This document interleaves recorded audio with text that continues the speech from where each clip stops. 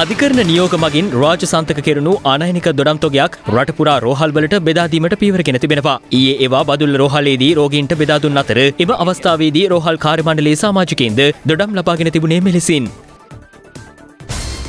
වෞනියාව ප්‍රදේශයේ ප්‍රචණ්ඩකාරී ක්‍රියා සිදු කරමින් ක්‍රියාත්මක වූ වයස දහට සාමාජිකයන්ගෙන් සැදුම්ලත් WhatsApp මගින් සංවිධානය වූ කණ්ඩායමක් තියනු ආයුධ හා මත්‍රාව්‍ය සමග විශේෂකාර බලකාය අත්තරංගුට ගෙන තිබෙනවා. විශේෂකාර බලකායේ වෞනියාව කඳුරේ නිලධාරීන්ට ලද තොරතුරකට අනුව පුවරසම් කුළම පොලිස් වසමේදී ඔවුන් අත්තරංගුවටගෙන ඇති අතර අදාළ WhatsApp ජාලය මගින් සිදු කරන ක්‍රියාකාරකම් පිළිබඳවද වැඩිදුර විමර්ශන සිදු කරමින් පවතිනවා. දෙදහස් විසි දෙක උසස් පෙළ විභාගයට අදාළ උපකාරක පන්ති සම්මන්ත්‍රණ දේශන සහ වැඩමුළු මෙම මස දහත්වනිදා මධ්‍යම රාත්‍රයේ දොළහෙන් පසු විභාගේ අවසන් වන තෙක් තහනම් බව විභාග කොමසාරිශ්චනරාල්වරයා නිවේදනය කර තිබෙනවා.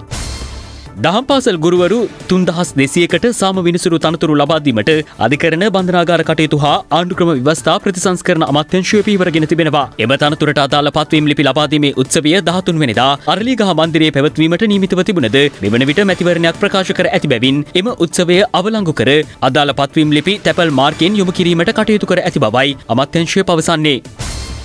වෞනියාව මන්නාරම මාර්ගයේ වෞනියාව වෙපන් කුළම ප්‍රදේශයේදී මාර්ගයේ නතර කර තිබූ යතුරු පැදියක පිටිපසින් පැමිණි බෞසර රථයක් ගැටීමෙන් යතුරු පැදී පැමිණි තරුණියක් තුවාල ලබා රෝහල්ගත කෙරුණා.